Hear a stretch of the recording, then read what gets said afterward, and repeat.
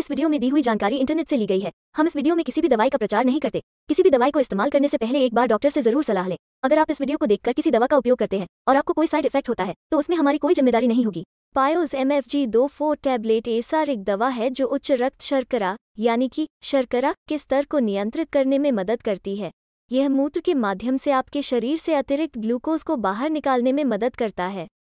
यह hormone insulin के लिए शरीर की प्रतिक्रिया में भी सुधार करता है। जो हमारे शरीर में रक्त शर्करा, यानी कि शर्करा के स्तर को विनियमित करने के लिए जिम्मेदार है।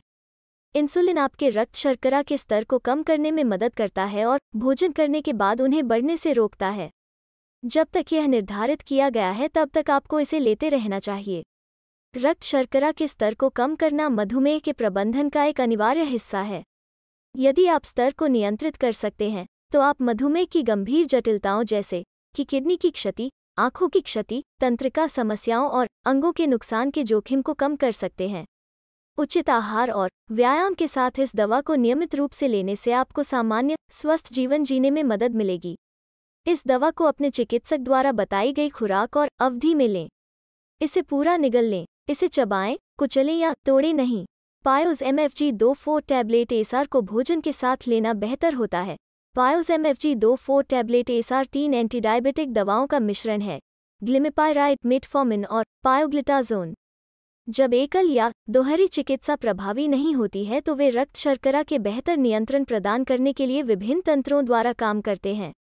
ग्लिमिपायराइड एक सल्फनील्यूरिया है जो रक्त शर्करा को कम करने के लिए अग्न्याशय द्वारा जारी इंसुलिन की मात्रा को बढ़ाकर काम करता है।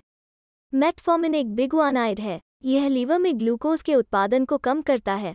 आंतों से ग्लूकोज के अवशोषण में देरी करता है और इंसुलिन के प्रति शरीर की संवेदनशीलता को बढ़ाता है। पियोग्लिटाजोन एक थियाजोलिडाइनाइन है जो इंसुलिन संवेदनशीलता को और बढ़ाता है। वीडियो को पूरा देखने के लिए धन्यवाद। अगर आपको ये वीडियो अच्छी लगी हो तो इसे लाइक करें। अगर आपने अभी तक हमारे चैनल को सब्सक्राइब नहीं किया है तो चैनल को सब्सक्राइब करके नोटिफिकेशन बेल को टर्न ऑन ऑल नोटिफिकेशन पर सेट करें। धन्यवाद।